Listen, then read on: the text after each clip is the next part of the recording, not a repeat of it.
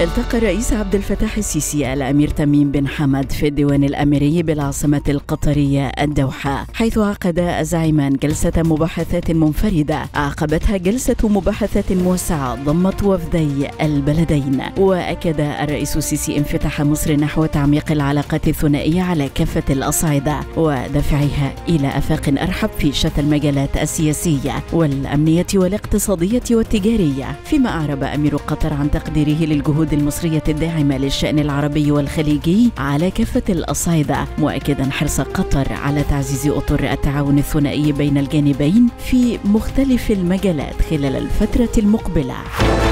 شهد الرئيس عبد الفتاح السيسي وأمير قطر التوقيع على مذكره تفاهم بين صندوق مصر السيادي للاستثمارات والتنمية وجهاز قطر للاستثمار ومذكره تفاهم في مجال الشؤون الاجتماعية بين وزارة التضامن الاجتماعي ووزارة التنمية الاجتماعية القطرية ومذكره تفاهم بشأن التعاون في مجال الموانئ بين مصر وقطر.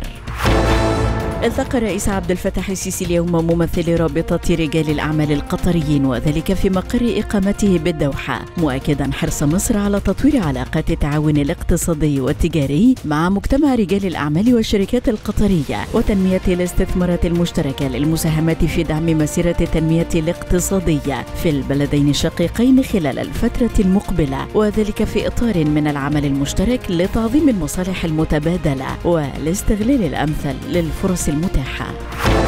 أكد الأمين العام للأمم المتحدة أنطونيو غوتيريش أن الآثار الضارة لتغير المناخ تسير بالعالم إلى المجهول المدمر مضيفا أن الدول الكبرى قد فشلت في التعامل مع التكيف بجدية وتجاهلت التزاماتها لمساعدة العالم النامي مشيرا إلى أنه من المقرر أن تنمو احتياجات تمويل التكيف إلى 300 مليار دولار سنويا على الأقل بحلول عام 2030 أكد المتحدث باسم البنتاغون أن الولايات المتحدة تعمل مع شركائها وحلفائها لإمداد أوكرانيا باحتياجاتها الضرورية مضيفا أن أوكرانيا تستفيد من الإمدادات الأمريكية في هجومها المضاد ضد القوات الروسية. ومشيرا إلى أن الولايات المتحدة تعطي أولوية لإمداد أوكرانيا بالصواريخ.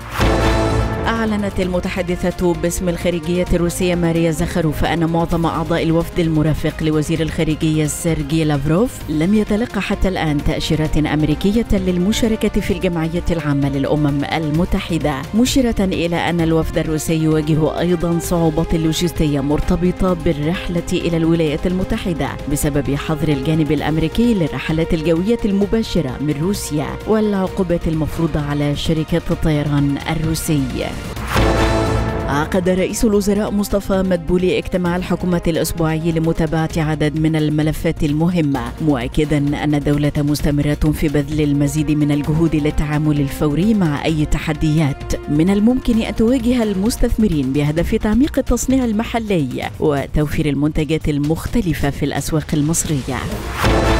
أعلنت وزارة الخارجية التوقيع على مذكرة التفاهم الخاصة بانضمام مصر إلى منظمة شنغهاي للتعاون كشريك حوار. في العاصمة الأوزبكية طشقند وذلك قبيل عقد قمة رؤساء الدول والحكومات الأعضاء في المنظمة والمقرر عقدها في أوزبكستان بعد غد الجمعة. من جهته رحب أمين عام منظمة شنغهاي بانضمام مصر للمنظمة كشريك حوار. معربا عن تطلع المنظمة للتعاون المثمر في المرحلة القادمة.